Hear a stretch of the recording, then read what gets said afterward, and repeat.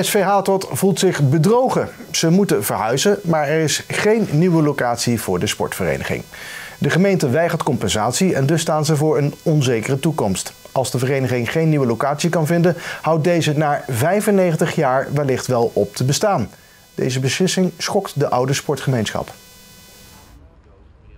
Wij moeten hier verdwijnen vanwege woningbouw. Overigens vinden wij dat prima. Wij dienen daarmee een hoger doel. En voor dat hoge doel willen we best verkassen. Maar er staat wel iets tegenover. Wij vragen niet om geld. We vragen compensatie dat zij ons een locatie met banen en een clubhuis bieden.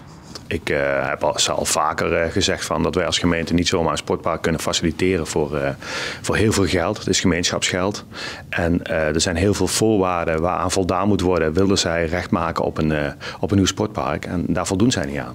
De vereniging heeft een businessplan ingediend bij de gemeente. Maar deze mist nog een financiële paragraaf. Volgens de sportclub kan dat pas geschreven worden nadat ze een nieuwe locatie toegewezen krijgen. Om de club gezond te houden financieel gezond houden. Dat is het op dit moment ook toch gewoon.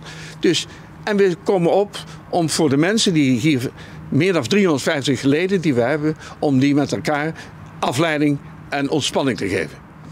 En we hebben echt alles onderzocht. En, uh, uh, financieel, uh, juridisch en ruimtelijk, hè, of er ergens een plek was. We hebben echt alles onderzocht om gewoon een gewogen afweging te kunnen maken.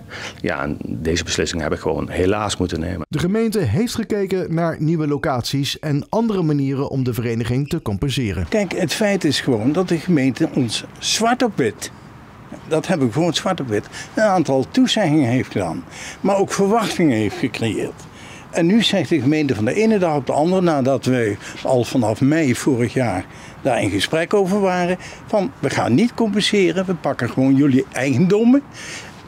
En uh, je stopt maar met tennis. En ja, hallo, dat bepaalt onze ledenvergadering wel of we stoppen met tennis. Niet de gemeente, we bemoeien eigenlijk mee. Wij het lef er is genoeg tennisaanbod in Nijmegen-Zuid. Eh, er zijn andere verenigingen uh, daar binnen een straal van drie kilometer die ja, genoeg tennissers nog kunnen gebruiken. Dus er is genoeg tennisaanbod.